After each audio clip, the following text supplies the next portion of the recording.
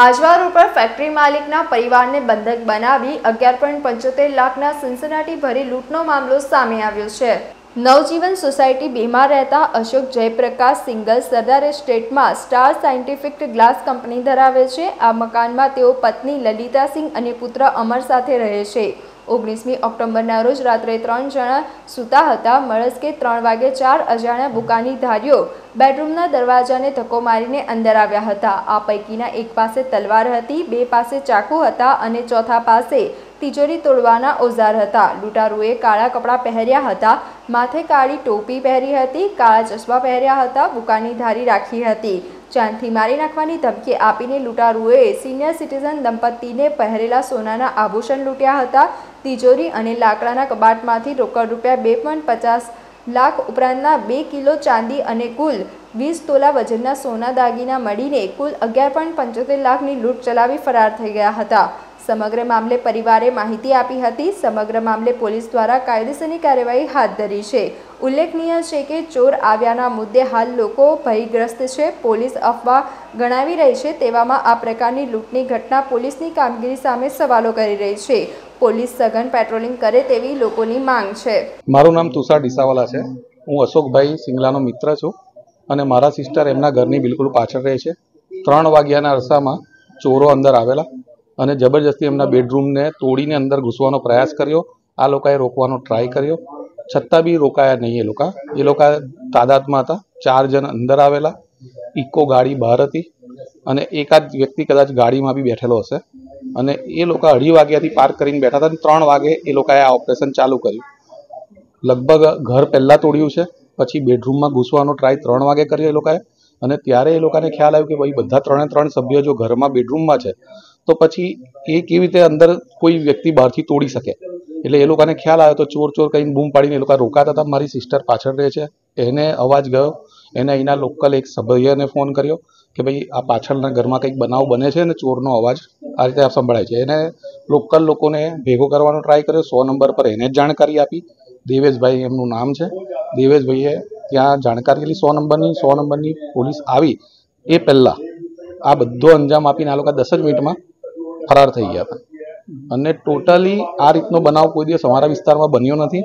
પણ આ રીતનું થતું હોય તો કંઈક ને કંઈક આગળ પોલીસે વિચારવું જોઈએ અને આ લોકોને કોઈ પણ રીતે પકડવા જોઈએ, કારણ કે બરોડામાં આવું અમે અત્યાર સુધી સાંભળ્યું નથી કે ભાઈ માણસ જાગતો હોય પરકાર કરતો હોય, છતાં બી એના ગળા પર તલવાર, ચપ્પુ મૂકી દે અને તમે લોકો એની લૂંટ કરી લો અને એની બધી વસ્તુઓ પહેરેલી રાત્રે ઊંઘમાં લૂંટી લો, એ વસ્તુ આજ સુધી અમે સાંભળ્યું નથી કે બરોડામાં કંઈ બનતું હોય આ વિસ્તારોમાં. અને આટલા ભરચક એરિયામાં ગાડી સતત જાય છે. અમે લોકલ એરિયામાં ફર્યા, પોલીસ સાથે ફર્યા, લોકલ સીસીટીવી ફૂટેજ એમને પ્રોવાઈડ કરાઈ. લોકલ એમને સપોર્ટ કર્યો તો એ લોકો જોવે છે કે ભાઈ ગાડી પ્રોપર આવતી હતી અને એમના જ માધ્યમથી ખબર પડી છે કે ગાડી ચોરીની હતી અને ચોરીની ગાડીથી આ લોકોએ અંજામ આપ્યો છે मेरा नाम अशोक सिंगला है नजून सोसाइटी नंबर दो में मकान नंबर पाँच में रहता हूँ मैं सुबह आज तीन बजे मेरे इधर दरवाज़ा तोड़ के मेरे इधर से चोरी हो गया हम तीन जने अंदर सो रहे थे मैं था मेरी मिसेज थी मेरा सन था तीनों जनों ने जब अंदर वो दरवाज़ा तोड़ने लगे तो हम जाग गए हमने अपने आप को बचाने की बहुत कोशिश की तो दरवाज़ा टूट गया।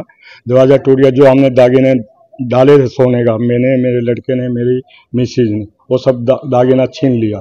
सेब सेब तोड़ के दागिना निकाल लिया जो सेब में था। उसमें दो लाख रुपया उसमें कैश था पचास हज़ार रुपया दूसरा दूसरे तिजोरी में था वो सब ले गए पैसे भाई, वो बोल रहे थे, जो है दो छीने छीना पट्टी हो रही थी, चार जने थे, एक एक जना अलग अलग एरिया में लगा हुआ था, जो उनको मिला, उन्होंने निकाल के ले लिया।